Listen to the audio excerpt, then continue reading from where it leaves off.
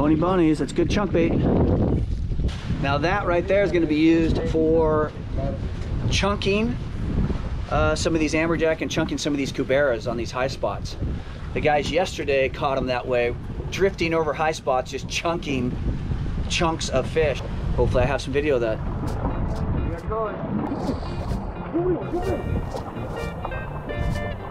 Oh,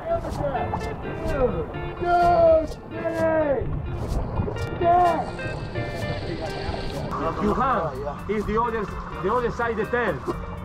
He, his hand. It should be underneath. Yeah. Oh, okay. I'll take it from the other side.